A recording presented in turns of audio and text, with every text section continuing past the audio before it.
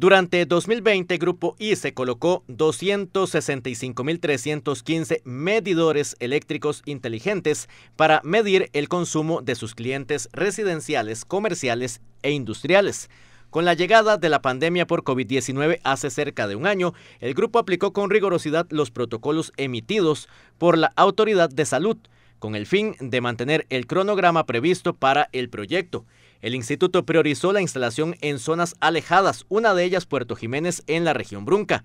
Esta estrategia busca disminuir el tiempo de respuesta en tareas como las reconexiones, que pueden ejecutarse a distancia y de manera inmediata. Conjuntamente se implementaron con un objetivo contenido en el Plan Nacional de Descarbonización 2018-2050 presentado por el gobierno del país los fondos para modernizar la medición del servicio en las zonas de cobertura de Grupo ICE fueron otorgados por el Banco Interamericano de Desarrollo.